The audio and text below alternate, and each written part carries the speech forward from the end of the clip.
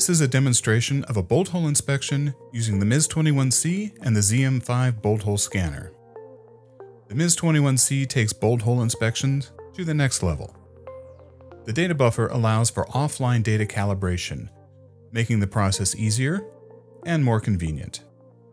Simply scan the hole and calibrate the signal in review mode. There is no need to hunt for the tiny signal and struggle to keep the scanner steady with one hand while trying to calibrate with the other.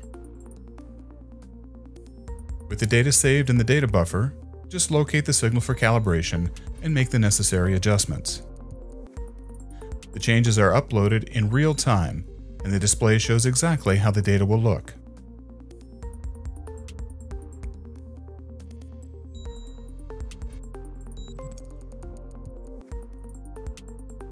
Filter adjustments can also be made in review mode. The effects of the filters are displayed as the changes are made, allowing the user to see exactly how the settings will affect the data.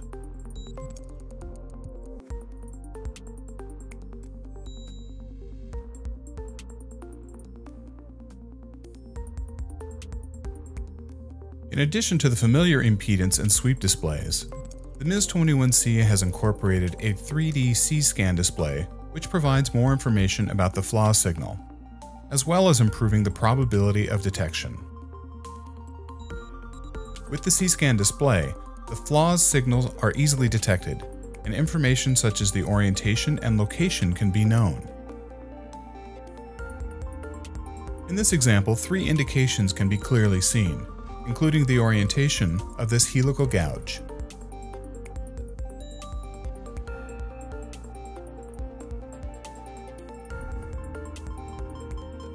Using the dual frequency option, a second channel can be configured to detect the different layers of the bolt hole.